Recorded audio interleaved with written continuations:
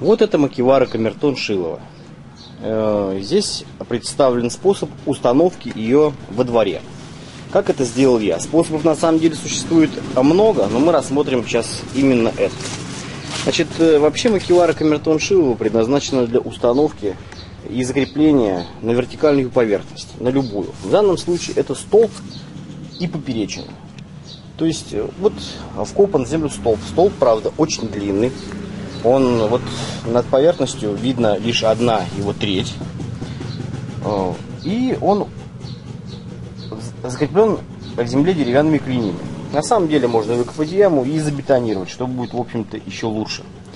Для чего нужна поперечина? Ну, чтобы макевара была закреплена так, чтобы она не вращалась вокруг столба. Если бы столб был бы квадратный, то поперечина, в общем-то, и не была бы нужна совсем. Высота закрепления макевара должна быть э, такова, чтобы э, при постановке э, удара Сайкен Чокутски, то есть прямого удара кулаком вперед, в стойке, в низкой достаточно стойке, рука была параллельно земле. При том, что она перпендикулярна поверхности байка. Поэтому вот это расстояние, которое там от земли есть, оно может быть разным, в зависимости от роста человека. Да? То есть она может быть закреплена выше и ниже. В моем э, случае она почти стоит на земле, там зазор где-то сантиметра два от земли и до макевары. Способ закрепления к самому столбу или вертикальной, или дереву, это может быть и дерево, может быть самый разный. Можно вообще просто примотать скотчем или ремнями, или шнуром. В моем уже случае я закрепил на поперечину это через шпильку. И с обеих сторон затянул барашкой. А в нижней части просто скотчем примотал. Очень просто. Очень быстро можно снять. То есть э, скотч можно просто разрезать, болты отвинтить. То же самое можно крест-накрест прикрепить ремнями. Э, очень замечательный способ для закрепления на дерево или на другой какой-то столб. Очень важно заметить, что нагрузка идет в верхней части, то есть вот сюда. И поэтому макевара через вот это крепление в верхней своей части, она как бы пытается как через рычаг клюнуть вот туда. Поэтому роль скотча, она больше заключается не в том, чтобы фиксировать макевар, а чтобы не дать ей э, колебаться. Она не должна качаться. Да? То есть э, у нее будет желание все время от столба оторваться. Потому что мы нажимаем на нее верхней части бьем. Вот скотч удерживает ее. Поэтому нагрузка его идет на разрыв. Достаточно крепко должен быть. Ну, скотчи, особенно полипропиленовые, они очень крепкие, выдерживают нагрузку очень легко. Вот, вот это крепление, оно не должно быть очень низко. Лучше, если оно будет выше, чем ниже. Вот это вот. Чем оно будет ниже, тем, соответственно, больше нагрузки будет испытывать э, ваша макевара на, э, скажем так, отрыв от э, столба. Или, или э, другой поверхности, на которую она будет закреплена. То есть можно даже это место крепления э, сделать, не обязательно оно должно быть именно с таким да, барашком длинным, это может быть очень короткая гайка, то есть которая будет прямо впритык с деревом закреплена. Вот. И может быть это даже где-то вот под отбойником. Вот отбойник, вот где-то вот гайка может быть в этом месте закреплена. Запросто.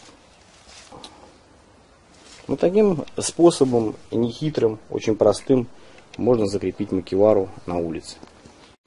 Можно вообще э, всю макевару примотать скотчем, если она крепится на сезон. Скотчем ее просто примотали от самого низа до самого верха. И все. Можно, конечно, ее прикрепить к этой поверхности и болтами. То есть насверлить дырок насквозь э, в столбе или в дереве, смотря какой у вас, может деревянный столб у вас будет. И через макевару насквозь э, закрепить. Потому что в отбойнике дырки можно делать. У него функция в основном конструктивная и несколько э, значит, отверстий э, не повредят ему никак. А теперь давайте рассмотрим, как можно было бы закрепить с помощью ремней. Я покажу это на примере пояса. На самом деле это может быть шнур, это может быть э, что угодно. Вот. Таким образом берется шнур и крест-накрест таким вот образом. Только это все делается очень туго. Это обматывается очень туго. Все это дело закрепляется. Таким образом.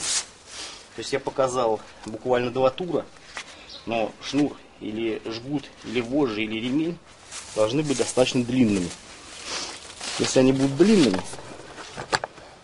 то крепление будет достаточно жестким. Очень хорошим способом закрепления является приматывание подобным образом с помощью кожаного ремня. Ну, достаточно длинного. Жгута кожаного. И некоторых э, видов тканей. Ну, те же вожжи, например. Надо их просто намочить, туго закрутить, и при высыхании происходит усадка, то есть кожа, она тоже сжимается, ткань, она значит, усаживается, и а прочность самого закрепления становится выше. Ну, разумеется, такие, конечно, крепления, которые зависят от э, влажности, надо э, беречь от воды, дождя. Ну, для этого на макевару просто после тренировки надевается чехол, э, а чехол элементарный. Это просто большой полиэтиленовый мешок.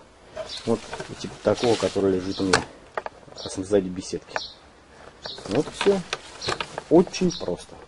Специально показываю вам на рабочем макеваре, потому что часто мне говорят, что а что у тебя, это макевар-то э, в зале красиво, там все стоит, там все это рабочими сделано. Нет. А, вернее, а в зале, да. А здесь я все делаю сам, и все замечательно работает. Вот, пожалуйста, способ. Ну, сейчас я просто покажу на поверхности, которая просто а, скажем, удобнее. На самом деле это делается к столбу, но я просто покажу, как делаются сами туры. Вот, взяли, прикрепили, сделали тур.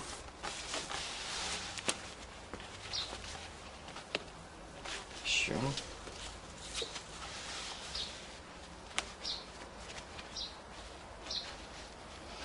Еще. И вот что в итоге получается. Вот. То есть забинтованы подобным образом, да? Аккуратно, очень все дело выглядит.